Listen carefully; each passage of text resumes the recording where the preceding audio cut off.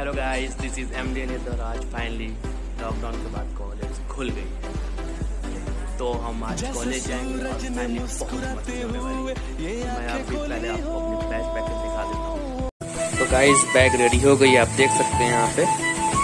Bag तो ready हो गई है ले जाने की आज कुछ लंच रख लेते हैं। लंच में आज बिस्किट है।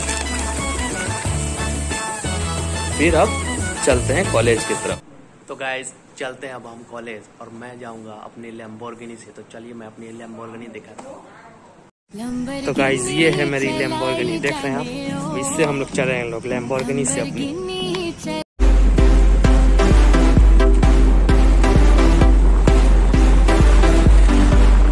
जैसे सूरज तो गाइस फाइनली कॉलेज पहुँच गया हूँ मैं। ठीक देख सकते हैं। अब चलते हैं हम फिर कॉलेज के तरफ़।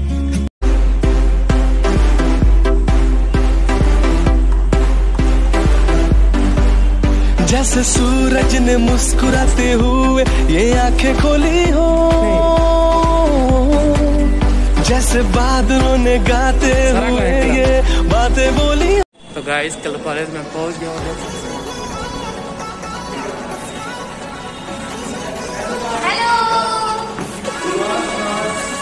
ये हमारे कॉलेज के माल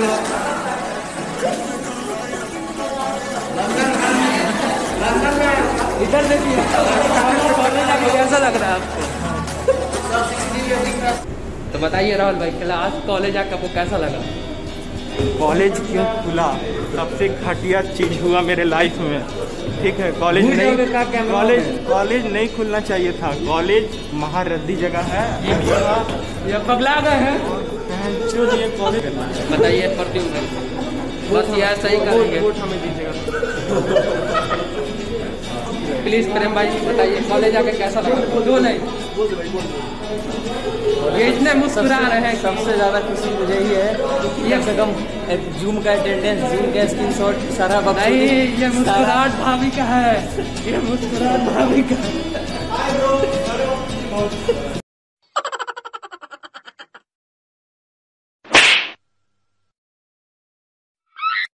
देख सकते हैं वो है हमारे प्रेम भाई देख सकते हैं। कहना पड़ रहा है कि कॉलेज स्टार्ट हो गया। है क्या करेगा? ये लोग बहुत खुश है लोग आप समझ सकते हैं अपने अपने प्यार से मिला है लोग।